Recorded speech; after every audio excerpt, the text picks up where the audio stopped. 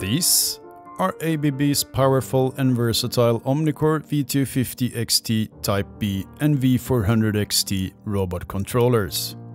The incoming cables are located at the front of the cabinet and are protected by the cabinet door.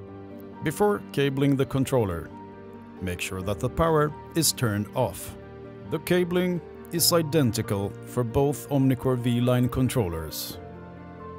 Let's start with connecting the power cable to the incoming mains connector of the V400 XT controller.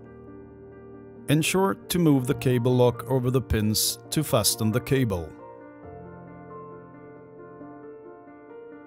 Let's continue with the motor cable for the manipulator that goes into the motor connector.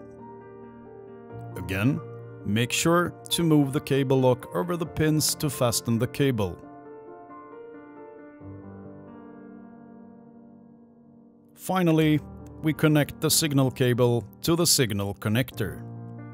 Align it and plug it in.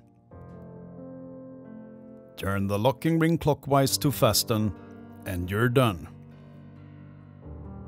With ABB's powerful Omnicore V250 XT Type B and the versatile V400 XT, we are closing the loop for our Omnicore robot controller family, allowing you to run a wide range of applications for maximum productivity, flexibility and energy efficiency.